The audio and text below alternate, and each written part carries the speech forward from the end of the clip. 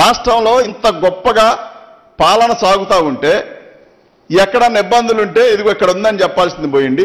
జరుగుతున్నాయన్ని పాలన అంతా కూడా ఇవాళ ఇచ్చిన నవరత్నాలన్నీ కూడా తప్ప నువ్వే మాట్లాడావు.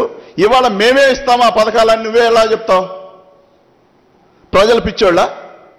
జగన్మోహన్ రెడ్డి గారి విషయంలో ప్రజలు చాలా ముక్కుసూటిగా ఉన్నారు చాలా క్లియర్గా ఉన్నారు. నువ్వు చెప్పాల్సిన పని లేదు. పాపం నిన్ను నమ్ముకున్న సినిమా యాక్టర్ల అభిమానులు మాత్రమే బాధపడతా ఉన్నారు. ఒకసారి చెక్ చేసుకో. దయచేసి నువ్వు అనేది ఏంటంటే ఈ అభిమానులు ఎవరైతే ఉన్నారో నిన్ను నమ్ముకున్న వేల మంది లక్ష మంది ఆ జనాలందరి ఓట్లు కూడా ఒకానొక రోజున టీడీపీకి తాకట్టు పెట్టి అమ్ముకోకుండా నిన్ను నమ్ముకున్నందుకు నువ్వు ఒంటరిగా పోటీ చేసి నీ విలువ నువ్వు కాపాడుకో. నీ గురించి పద్దాకలు చెప్పడానికి ఇదే క్లాస్ కాదు. కాబట్టి ఇది దయచేసి పెద్దోళ్ళకి పేదోళ్ళకి జరుగుతున్న యుద్ధం. అందులో పేదోళ్ళ పట్ల జగన్మోహన్ రెడ్డి గారు ఉన్నారు. మరి నువ్వు ఎవరి పక్కన ఉన్నావో ఎవరితో ఉన్నావో నువ్వు చూసుకోవాలి ఈ రాష్ట్ర ప్రజలు చూస్తా ఉన్నారు.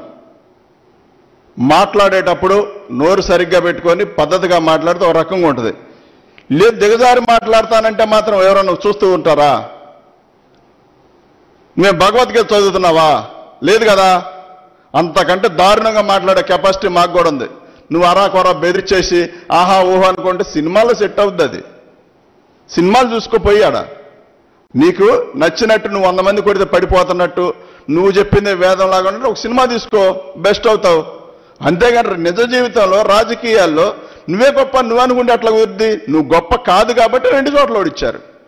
నువ్వు ఇంకా చంద్రబాబు నాయుడు దత్తపుత్రుడు కాబట్టి ఇంకా నిన్ను హీనంగా చే- నీచంగా చూస్తా ఉన్నారు. నిన్ను నమ్ముకొని ఎంతమంది పక్కకి వెళ్ళారు నిన్ను నమ్ముకున్న నాయకులు ఎంతమంది వచ్చి ఎంతమంది పక్కకు సర్దుకున్నారు? నువ్వనేవాడివి నిలకడలేదు నీవనే భాషగా నిలకడలేదు నువ్వు మాట్లాడే విధానం కరెక్ట్ కాదు. ఒక శాడిస్ట్ వచ్చి మాట్లాడినట్టుగా ఉంటుంది స్టేజ్ మీదకి వస్తే ఆ ఓగటం ఏంది ఓగటం ఏంది? దయచేసి నీ పద్ధతి మార్చుకో నువ్వు ఏది పడితే అది స్టేజ్ మీద మాట్లాడితే మాత్రం కరెక్ట్ కాదు. దానికి మించి మాట్లాడడానికి మేము రెడీగా ఉన్నాం లేదు మాట్లాడదాం అనుకుంటే రా ఒక రౌండ్ నేను కూడా ఉంటా. నువ్వు ఎక్కువ మాట్లాడతావు నేను ఎక్కువ మాట్లాడతా ఒకసారి నిరూపిస్తా. నేను మాట్లాడిన తర్వాత నువ్వు రెండు చెవులు మూసుకొని పారిపోవాల్సి వచ్చింది. దయచేసి అర్థం చేసుకొని బుద్ధిగా మాట్లాడితే చాలా మంచిది. నువ్వేం చెప్పాలనుకున్న ప్రజలకి నీ ఒపీనియన్ చెప్పుకోగానే అలాగని చెప్పి మిగతా వాళ్ళు తప్పుడు వాళ్ళు కరెక్ట్ కాదు. ఇదంతా రాక్షసత్వం అని చెప్పి మా అందరిని కూడా మాట్లాడే కాన్సెప్ట్ మాత్రం ఉంటే మాత్రం తగు తగు చర్యలు ఖచ్చితంగా ఉంటాయి.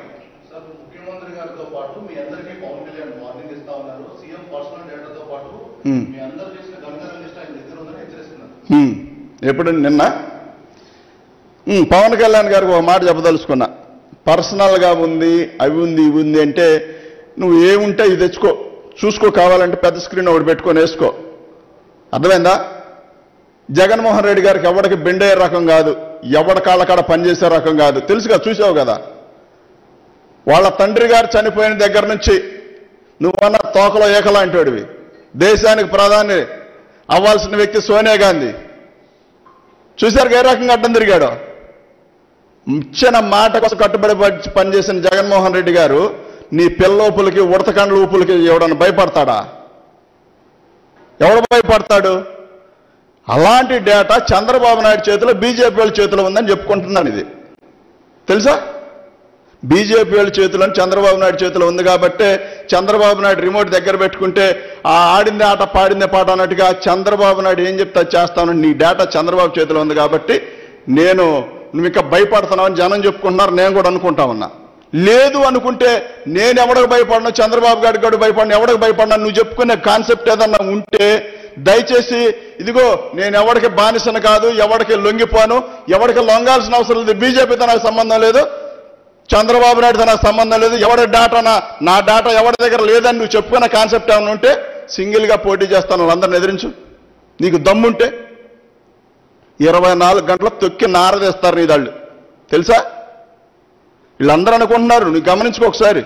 నువ్వేది ఉచిత హామీలు దొరికినట్టుగా ఉచితంగా రోడ్డు మీద ఎవడు చెవులో చెప్తే తీసుకొచ్చి మాట్లాడినవన్నీ నిజాలైపోతే ఏంటి? కాబట్టి నువ్వేమనుకుంటే చేసుకో. కానీ నీ గురించి ఏమనుకుంటున్నారో మిగతా నాయకులు తెలుసుకో ఒకసారి. ఏమండి? రెండు వేల పద్నాలుగులో పవన్ కళ్యాణ్ చంద్రబాబు నాయుడు కలిసి పోటీ చేసినప్పుడు చంద్రబాబు నాయుడు అను అనుభవించాలని అని చెప్పిన పవన్ కళ్యాణ్ రెండు వేల పంతొమ్మిదిలో ఎందుకు విడిపోయాడు? రెండు వేల పంతొమ్మిదిలో అమరావతి అది భ్రమరావతి నిజంగా ఒక సామాజిక వర్గానికి సంబంధించిన వ్యక్తి అని ఎందుకు మాట్లాడాడు?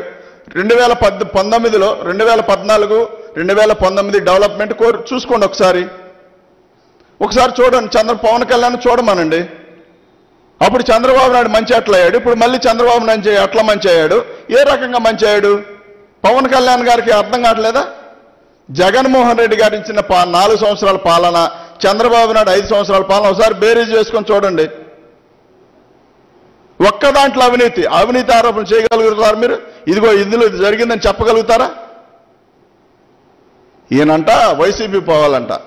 నువ్వు అసలు ముందు ఎమ్మెల్యేగా గెలు ఏది పోవడం తర్వాత సంగతి కానీ ముందు నామినేషన్ వేసి నామినేషన్ ఫామ్ అన్ని కూడా కరెక్ట్గా చేసుకో. ఎక్కడేమో సంతకాలు పెట్టాలో చూసి పెట్టు. చూసి పెట్టి నువ్వు ఎమ్మెల్యేగా పోటీ చేసి ఒకసారి గెలిచి అసెంబ్లీ గేట్ కాడకు వచ్చి ఒకసారి నేను ఎమ్మెల్యేనాయని చెప్పు.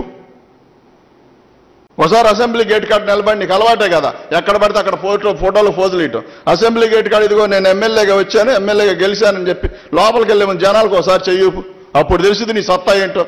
ఇవన్నీ తర్వాత ఏడుద్దు కానీ జగన్మోహన్ రెడ్డి గారి ప్రభుత్వయాంలో జగన్మోహన్ రెడ్డి గారు ఉన్న నాలుగు సంవత్సరాల పాలనలో ప్రజలందరూ కూడా సస్యశ్యామలంగా ఉన్నారు. చాలా సంతోషంగా ఉన్నారు. అన్నగారిన మధ్యతరగతి అన్ని రకాల వాళ్ళు అందరూ బాగున్నారు. చంద్రబాబు నమ్ముకున్న కొంతమంది దాయాదులకు బాధ ఉండొచ్చు. వాళ్ళకు ఉంది కాబట్టి ఏడుపులన్నీ కూడా.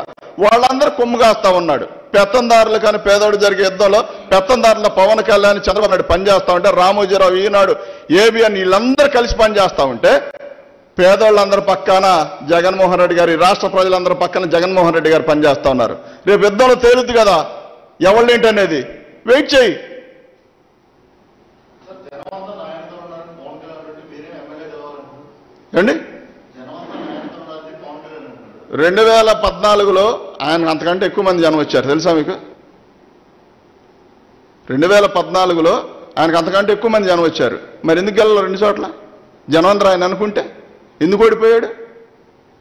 పోనీ ఇప్పటి వరకు విశ్లేషణ చేసుకున్నాడా? అరే నేను భాష మార్చుకోకపోతే నన్ను ప్రజలు క్షమించరు. చంద్రబాబు నాయుడు కూడికం బాడికం చేయటం మానేయకపోతే ప్రజలు క్షమించరని చెప్పి ఇప్పటికైనా అర్థమైందా? ఇప్పటికీ అర్థం కాల. ఒకటే మాట నేను గమనించింది అయితే ఒకటే. గ్లాస్ పవన్ కళ్యాణ్ ఛాయ్ మాత్రం చంద్రబాబు నాయుడుది. కన్ఫామ్. నారాయణ కావచ్చు పుల్లారావు కావచ్చు ఇంకా యోధాని యోధులు ఎవరున్నా సరే. ఖచ్చితంగా చంద్రబాబు నాయుడుతో సహా. ఎందుకంటే దీన్ని పూర్తిగా రాజధానిలో అసైన్డ్ భూముల విషయంలో పూర్తిగా దూషవరణ ఉన్నారు చంద్రబాబు నాయుడు ఆయన బెనామీలు. ఖచ్చితంగా వాళ్ళతో పాటు చంద్రబాబు నాయుడు గారు కూడా అరెస్ట్ అవ్వాల్సిందే. ఎందుకంటే తప్పు చేసిన ఏ వ్యక్తికైనా తప్పదా శిక్ష.